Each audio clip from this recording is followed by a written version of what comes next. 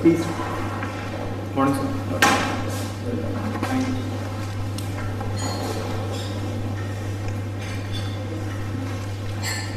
Nabal, uh, I see that you have done chartered accountant. Yes. You have been. So instead of uh, going in your specialized field, you know, which is a very high business, uh, why do you want to go in the civil service? And how you will use your uh, all the in your life in civil service? What prompts you to do that? Uh, so frankly, when I uh, started the CA, I was not having much idea of civil service. But gradually, some of my seniors, uh, they qualified they practiced for some years, and they went for civil service. They not only qualified, but they're also now good post in IAS. What I have observed, sir, that earlier they were using their knowledge to serve a few clients, but now they are doing a greater public good. Further, uh, they are using their own knowledge which I acquired in the CA, plus the training they got uh, in bringing greater financial propriety. Uh, they are better tax administrators and also bringing efficiency and effectiveness in the administration. So it prompted me also to join. So, what is your preference? What is your first preference for one service? Is it income tax or Sir, administrative service. administrative? Now, tell me, recently, it's, the, we had a budget this year, you know, it's, it's not supposed to be full budget. What are the main points in the income tax? Uh, uh, so firstly in the uh, tax slab rate, the slab rate was not changed but a rebate of extra 2 lakhs has been allowed, allowed under section 87A. Uh, now up to 5 lakh, uh, individual need not to pay income tax. Uh, secondly, sir, for the interest, for the interest, saving account interest, the TDS reduction limit has been increased to 10,000 to 14,000, 40,000. Uh, in case of house property, earlier uh, only one, if an individual purchases two house property, uh, the one is treated as self-occupied, the other is deemed out. But now the individual can claim uh, two as self self-occupied. And further, there was also provision of 80 IAB, where affordable house for affordable housing, uh, the clause has been extended for further one Tell me one thing. Uh, what happens, uh, you know, like somebody who is not, a, whose, whose income is beyond 5 lakhs, what benefit he gets out of it? Uh, sir, mostly like uh, earlier, if a person, uh, if a person would be earning earlier 5 lakh rupees, then he would have to pay tax, uh, tax of amount. No, if somebody is earning 10 lakhs, so what benefit he gets out of it? Uh, sir, in case uh, he will not get any, any sort of benefits. No, If he is a salaried person, Uh, sir, the, the standard deduction, the standard deduction has been increased to 40,000 to 50,000 rupees. so that benefit will get.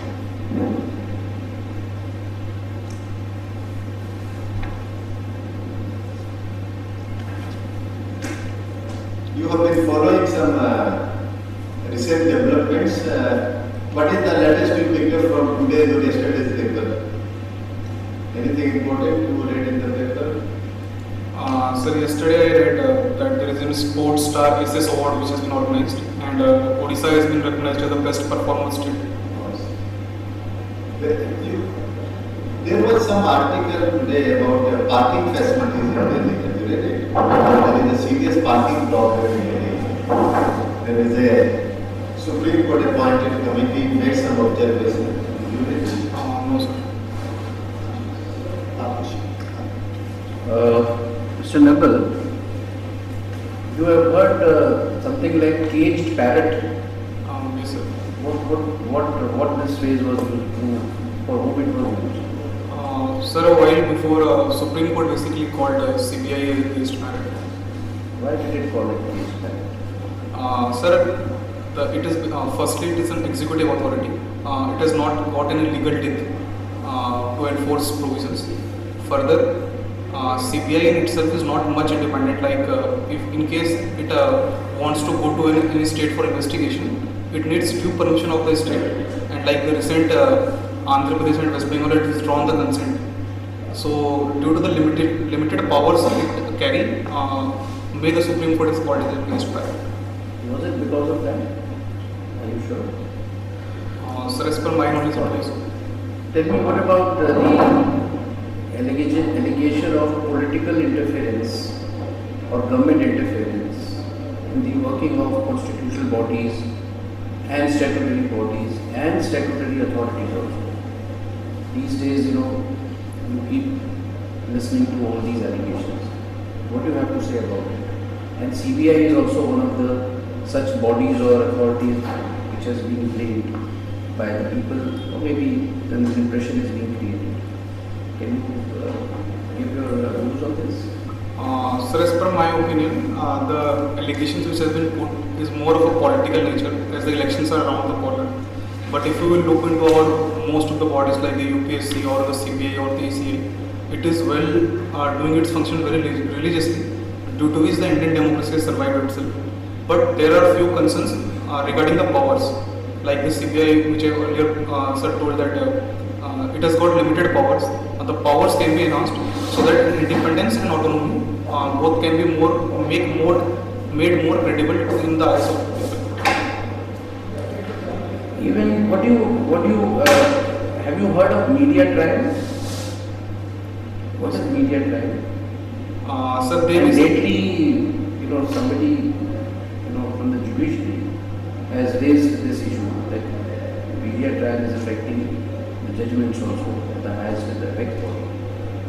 Can you mention? Uh, so like there are newspaper reports that uh, basically media try to uh, preconceive the notion about a particular person or a particular case and they basically try to start their own investigation without looking into the basic facts and uh, somehow they try to influence uh, the process of the democratic institutions like the judiciary. So you remember lately, just very recently, about a week or ten days ago, some senior judge had mentioned about this. Had you, did you read that in the so I cannot recall it. So I am not asking the name, but he mentioned that even the, the, the judgments are being influenced, the Supreme Court judgments are also being influenced by opinion, as you are also mentioning. Now tell me, uh, what is this electronic visa?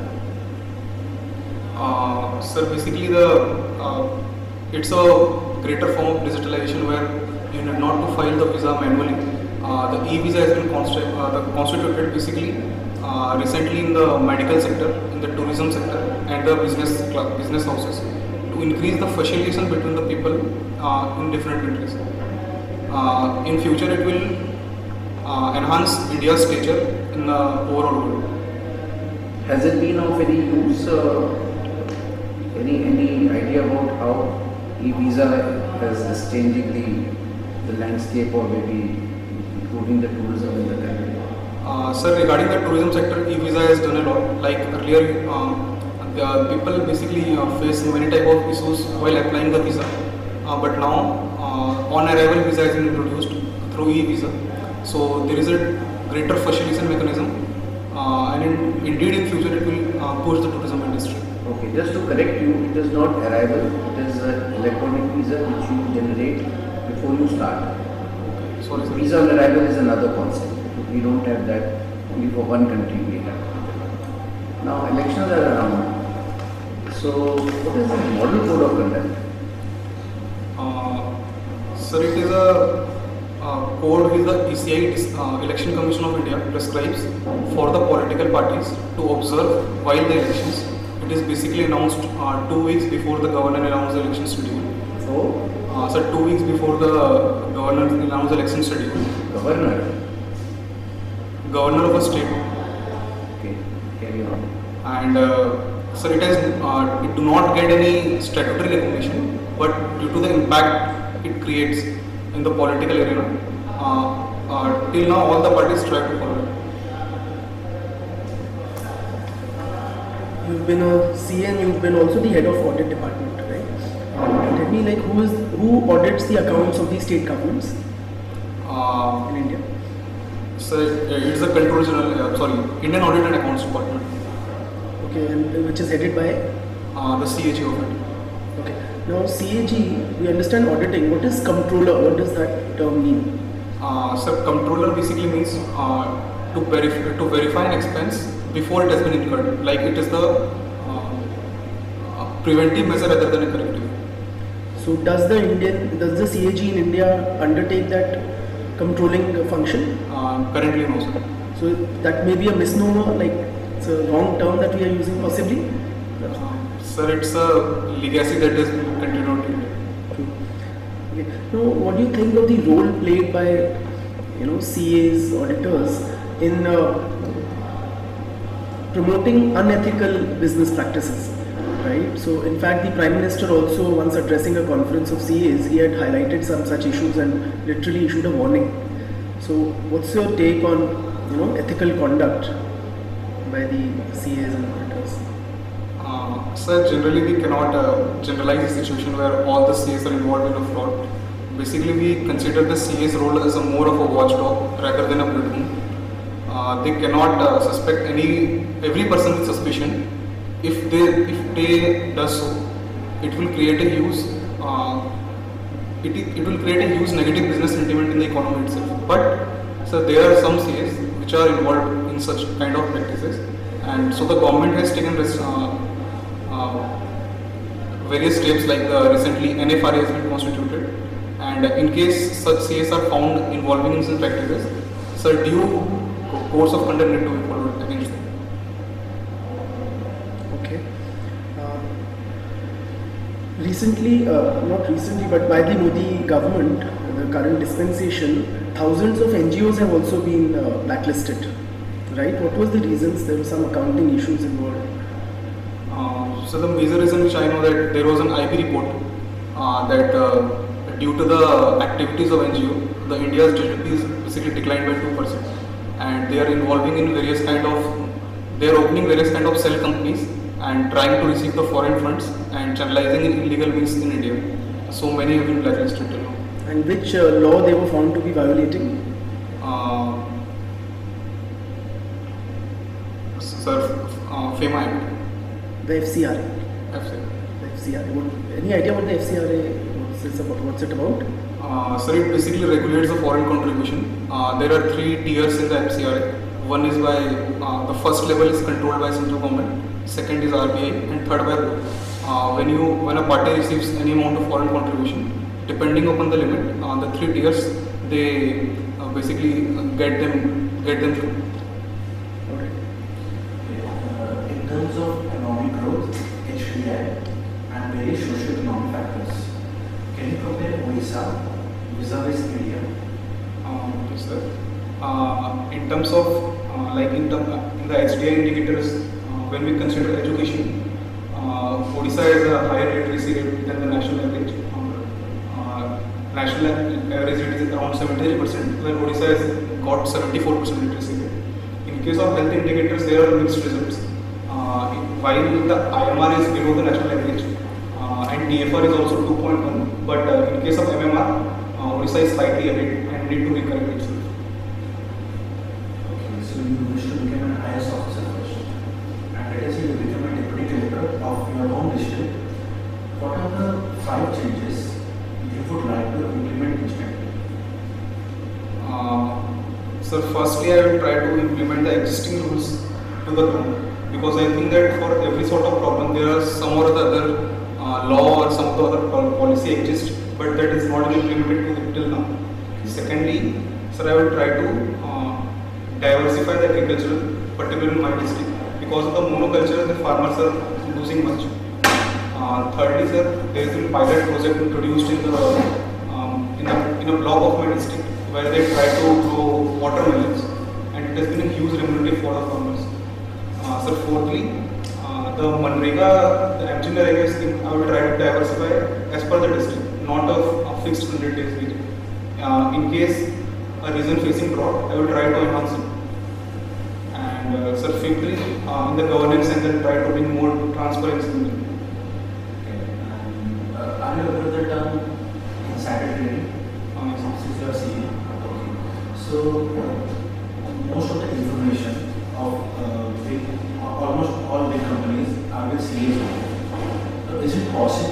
to eliminate insider trading at all?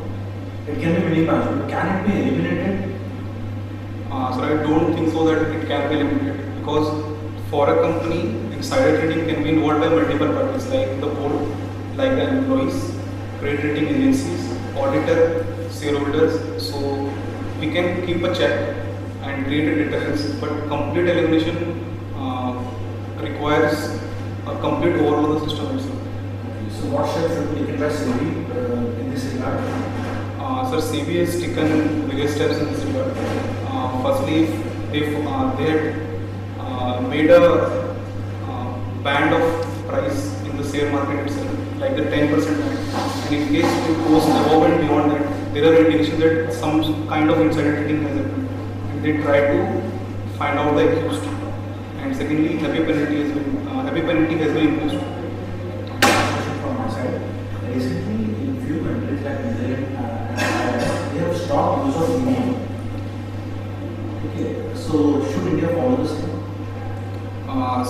Considering India, the EVM has got a huge success. Like the first, it was introduced in Kerala, and subsequently, it has been uh, introduced in many parts of the India.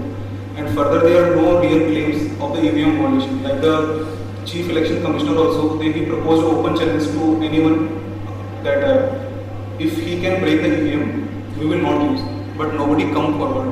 So we can uh, uh, say that it is basically more of a political agenda that if they are not winning, they are just transferring the blame to the EVM rather than the own side. Well, uh, just tell me what is bail Uh, so it is a point where the uh, the company's revenue uh, exactly match the company's cost. Uh, in case the point uh, revenue exceeds break-even point, the company is actually earning profit. So, as a chartered accountant, uh, what would be your suggestion? Whether he should run the uh, business or should close it? Uh, sir, it depends upon business to business. That if a business is more of a social, that, the business is operating at the break-even points. uh, yes, sir, it should operate until the business goes to the shutdown point. It should not be used. What is? Uh, sir, it is uh, it's basically lays the, uh, it is basically laid down in the uh, as per Article 110 of the Constitution, termed as the annual financial statement, where the government basically tries to incorporate tax proposals. And in which it can be produced? Uh, sir, only in Lok Sabha. Money also. Sure. Uh, sir, it can be introduced only in Lok Sabha. And the Rajya Sabha need to pass within 14 days. You can't be introduced in the Rajya Sabha. Uh, no, sir. Okay. Can you tell me the advantage of this demonetization? Um, sir, sir, firstly, uh, it has uh, created a huge uh, uh, formalization of the economy. Secondly, the tax base of the economy has uh, substantially increased. Earlier, it was around 6.8 crore people were filing tax. After demonetization, the number has been increased to around 10.5 crores. Uh, thirdly, there are uh, the government report says that the Naxalism has been reduced drastically after demonetization. So do you agree that will as resident of the Odisha that is also affected by Naxal activities? Uh, yes, sir. Uh, in fact, uh, the in, uh, in last from when demonetization implemented, there has been no major attacks in the entire Odisha itself.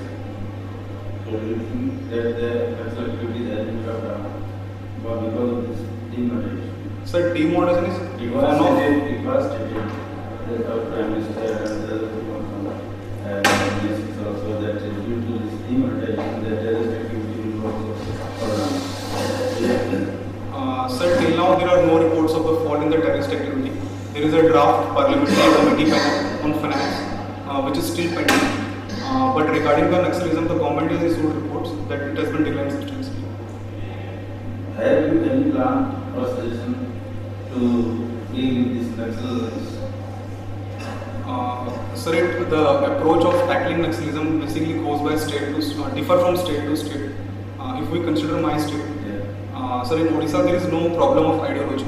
Uh, that the Naxal do not uh, they do not join the uh, Naxal parties just to uh, to have land reforms. There is just the problem of underdevelopment and unemployment, which is being capitalized by the Naxalists. And the government is taking proactive measures. And due to that, in the last two years, the Naxal affected district has been reduced from 19 to 15. So as an administrator, what are your with? Sir, Naxalism can be dealt by two fronts. First, the security and uh, is the development is in, the security side. I feel that uh, instead of going for the paramilitary force, uh, the government should uh, train more local localites to counter them. As basically Naxal perceive the CRPF as some someone from outsider who is trying to intrude to their area. And development So you should see it as a political problem or economic problem or social sir, I would say it's a mix of three. It's a mix of three. What is the current account deficit? Uh, sir, uh, um, it's uh, it's basically a part of the balance of payment where uh, it takes in, takes into account uh, the deficit in merchandise and services part. But it, you know, of late there was a report that